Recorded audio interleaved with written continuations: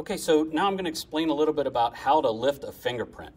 Our wardens uh, many times will use fingerprint evidence at a crime to try to um, see if a, a, particular individual was at a location. And, you know, if someone was there and they committed a crime, uh, depending on what they touched, if it was in a, a house or a, uh, a vehicle or maybe on an antler or something like that, there's a good chance somebody left some fingerprints there.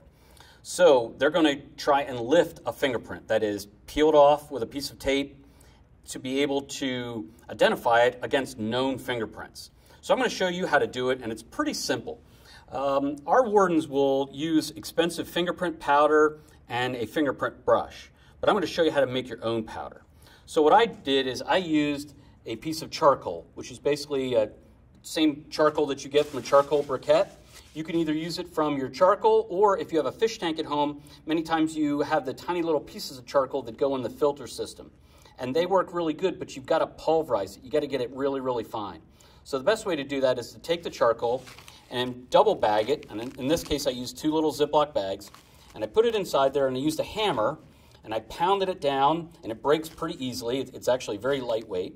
And then I used a rolling pin and I ground it out to try to make it as fine as possible.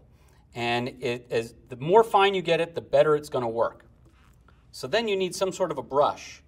And instead of a super expensive fingerprint brush, you can go to the dollar store and get a, uh, a makeup brush, which has, which has really, really fine ends to the brush.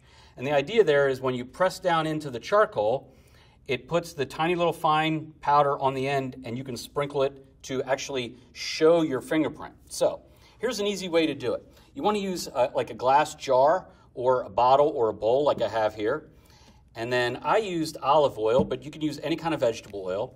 I poured a little bit inside here, and I put my finger in there. And then you want to take a paper towel. You can see it's kind of dripping.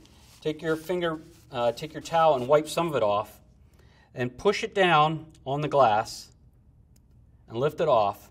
It's kind of hard to see there right now. But if you take your fingerprint brush and lightly go over top of the glass, you'll see it starting to show up right there. So take, stay away from the actual fingerprint, kind of get some of that excess charcoal off of there. Then what you're going to use is packing, packing tape or packaging tape. And um, it's a clear tape. Kind of peel it off, set it on top, and smear it, like smooth it down on top of where your fingerprint was, and then slowly lift it off, and your fingerprint's on there. And then I made up these little tiny index cards. You can see one that I've already filled out here. It's got the case number, the item number, date and time, the offense, and in this case I put poaching down there, I'm the investigator, and I put county and township on there. And then you can just kind of put that piece of tape right on top of there. And it's not a perfect fingerprint, but there are some things that you can, you can identify on this fingerprint. The cool part is this. You could um, have some of your family members use something like this uh, cheapo uh, ink pad, and they could take either thumbs or index fingers, and they could all put a, a finger down on top of it, and then on a piece of paper, put their fingerprints on. So you could have different fingerprints, you know, right next to each other. And then what you could do is you could have one of them use the vegetable oil and put their, the same finger on the glass, but you don't know which one it was.